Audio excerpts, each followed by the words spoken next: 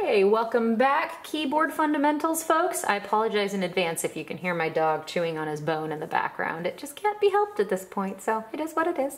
Um, we're gonna go in a little different direction than the Music Fundamentals class. Uh, they're moving on to uh, the, the theoretical side of full major scales, do, re, mi, fa, sol, la, ti, do. We're gonna stick for this week with five tone scales. Um, it just goes do, re, mi, fa, sol, and then back down again. Um, the simple reason being, you're actually playing these things unlike like that class, um, or at least you're playing more of it, and you have five fingers, right? We have finger one, two, three, four, and five. Now I'm gonna demonstrate everything with my right hand, but if you're left-handed and you prefer to play these with your left hand, you can. Just know that whenever I talk about moving my thumb up and down, you would be thinking about moving your pinky up and down the keyboard, okay? So I would actually recommend, even if you are left-handed, give the right hand a shot because a lot of what we do um, in this class, you're gonna end up using both eventually. Um, but being able to play those five tone scales with your five fingers um, is, is very useful. You might recognize as we do this, it sounds an awful lot like pretty much every choir warm-up known to man, right? So we're gonna start at middle C, handy dandy middle C. There it is. And I'm gonna throw my thumb on there.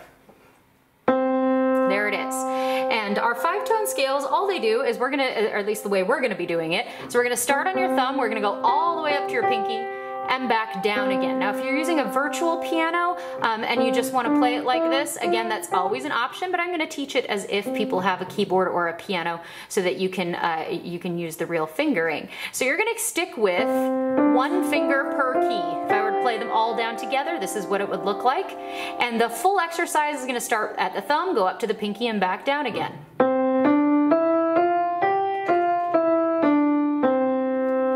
Left hand, I could do the same thing in a mirror image, but I'm gonna start with my pinky on the C below that.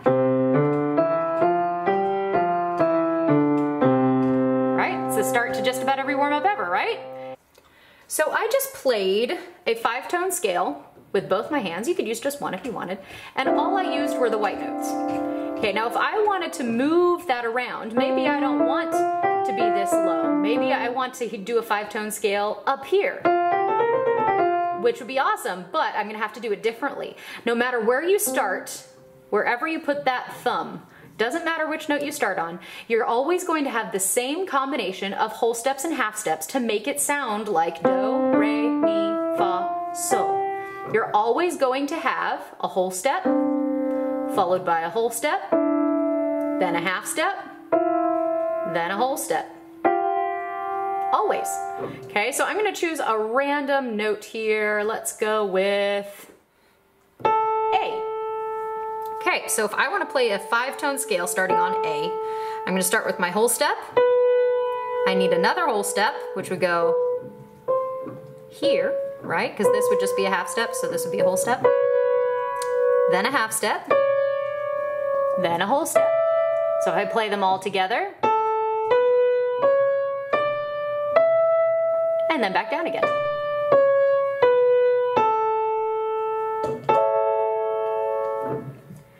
I can also start on a black note. I don't have to play just on the white notes. I can start on a black note. I'm gonna start right here. So we're gonna do the same combination of whole steps and half steps. So we have whole, whole, half, whole. Here's your first whole step, second whole step, half step, then a whole step.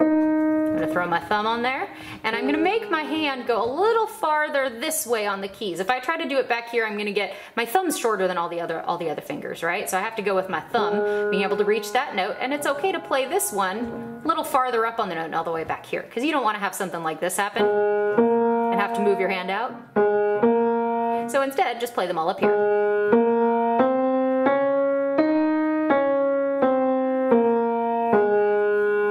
Getting the idea?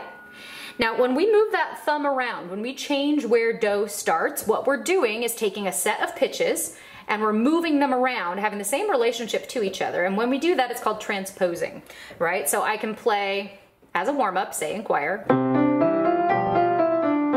adding some chords on my left hand, but you get the idea. If I want to do that again, I can transpose it up to the next black note. use the same whole steps and half steps. Get the idea?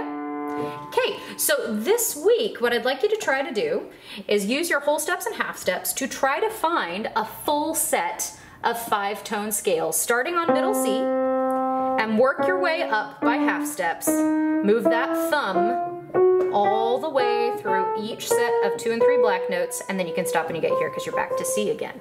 Okay, so if I was doing that ridiculously fast, it would look something like this.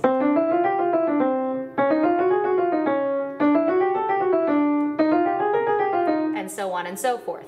You can go as slow as you want, but that's the idea. You're moving that thumb up by half steps and using the same combination of whole steps and half steps to transpose this idea up to a higher set of pitches.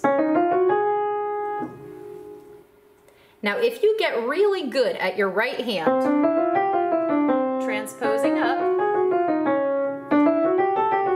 you can do what I did earlier and you can start mirroring with your left hand an octave lower. If I'm starting on a C with my right thumb, I'm gonna start on the C below with my left pinky and do the exact same thing.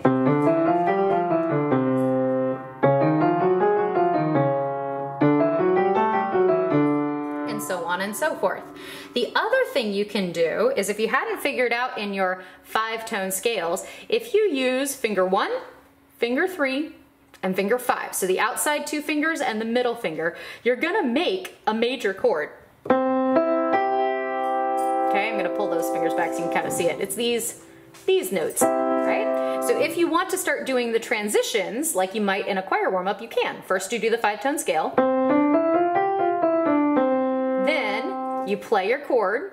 There it is, I'm gonna change fingers so you can see it. And then you play your chord up a half step. You've heard this a trillion times, I think. And those chord transitions, you're simply using the same combination of half steps and whole steps each time. You're just playing with these three fingers to make that chord. So that's one thing you can add, and you can even do it in both hands. Have a substitute in class, you could possibly lead some choir warm-ups, yeah? With that. Okay, another option is that you could, with your left hand, and this is this is totally optional. If this totally confuses you, then don't do it. Um, but if you're a little bit more familiar with keyboard, you know that you can often go back and forth between those chords that we just talked about with one, three, and five.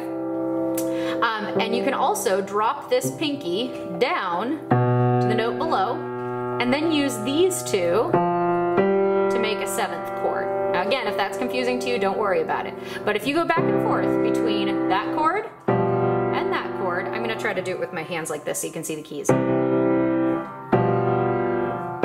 With your left hand, it fits really well with your, your five tone scale on your right hand.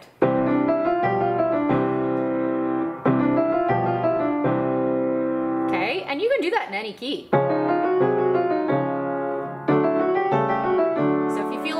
And you want to add those extra chords in the bottom, go for it. If it, it seems confusing or if your, your left hand is just not cooperating, because oftentimes our left hands, especially those right-handed of us, um, our, our left hands can be stubborn and, and, dumb sometimes, particularly our pinkies, by the way. If you find that you play these uh, and, and your pinkies on either hand just don't want to do the right thing, that's why. We're used to gripping things, and these fingers have quite a bit of independence. But these fingers on the outside tend to do whatever the rest of the fingers are doing. Okay, so if you find that your pinky is moving when you don't want it to move, it's just kind of moving with the other fingers, um, it's always a good idea to practice independently, just tapping a table like this, one finger at a time.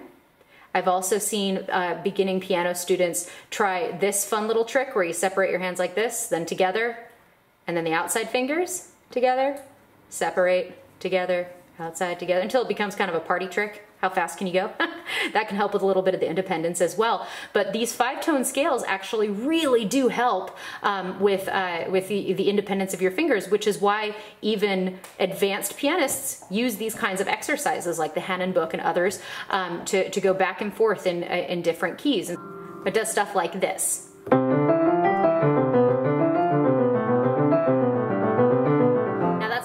Different than what we are doing, but you can see why pianists would do these kinds of exercises is all for finger independence. So this week, try to transition from one five-tone scale to the other and get really good at it. You could be a choir teacher before you know it, leading those warm-ups.